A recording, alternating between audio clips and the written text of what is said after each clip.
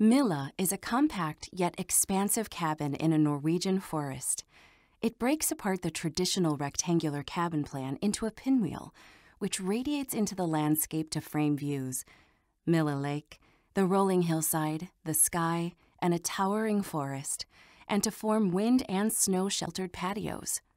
In this beautifully crafted and understated example of a Scandinavian holiday home, the four arm pinwheel geometry suits the compact scale and mountainous site. Inside, plywood walls and ceiling, simple clerestories, and sliding glass doors distribute light dramatically through each arm across the day. The building is sited for wind and views, making for a delightful synergy.